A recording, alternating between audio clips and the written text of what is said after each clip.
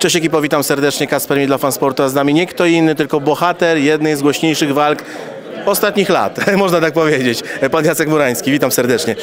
Panie Jacku, jak po ostatnim programie śro- środowym, po prostu ja cały internet miałem zawalony pańskimi tekstami.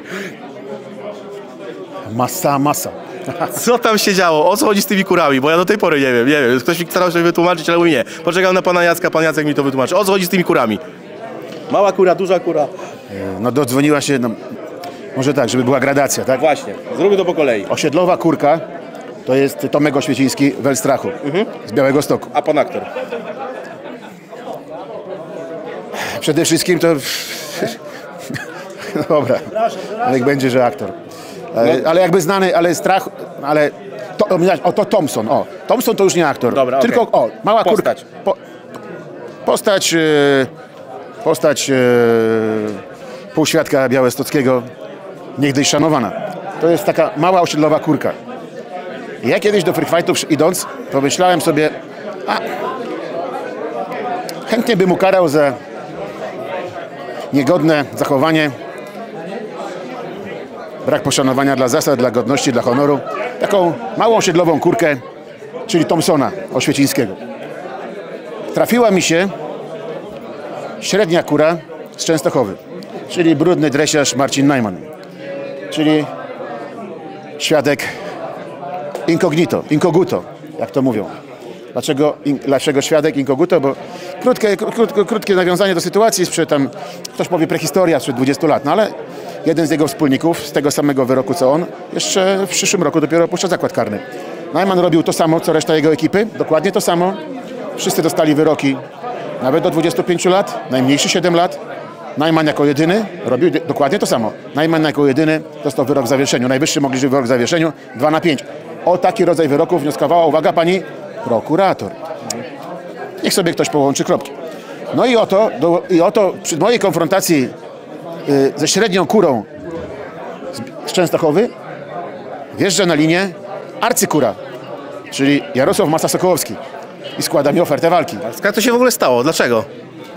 To zupełnie jakiś zbieg okoliczności, bo y, dwa tygodnie temu y, szalony szczur Matysiak puścił na swoim e, kanale informację, jakobym ja miał walczyć na, e, z Jarosławem Masą Sokołowskim na dla nieistniejącej organizacji MMA VIP. Która miała... A, MMA VIP na drugi dzień wydało oświadczenie z MMA VIP. Nigdy na ten temat takiej walki nie rozmawiałem i też dosta- dostawałem setki wiadomości. Chciałem to, żeby nie odpisywać każdemu, złączyłem to w jeden zbiorczy, yy, w jeden zbiorczy filmik i odpowiedziałem swoim widzom, że słuchajcie, jest to nieprawda. Jest taka arcykura, jest taki Jarosław Masa Sokołowski, ale takiej walki nie ma, nie, nie ma nic o, nic o niej nie wiem. No i on w reakcji na to, to no mogło się dodzwonić setki innych osób. No dodzwonił się akurat Masa. No i Puścili go na linię, umówmy się, no zrobi, to, to nie, nie był przypadek, panie Jacku, no.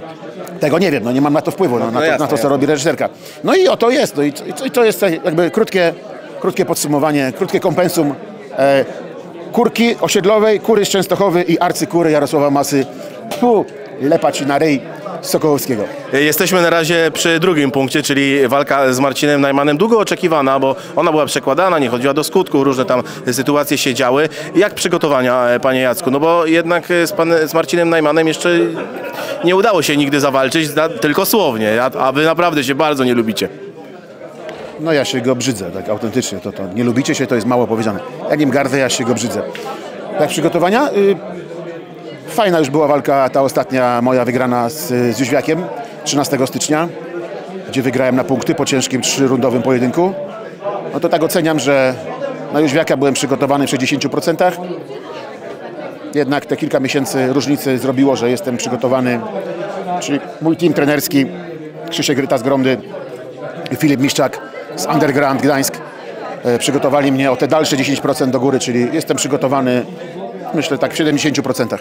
Plus fajne sparingi, bo udało się właśnie trenerom zorganizować e, takiego parametrami odpowiadającego, parametrami wzrostem, w sensie i wagą Najmanowi takiego ostrego bojka, ostrego bioka z Trójmiasta.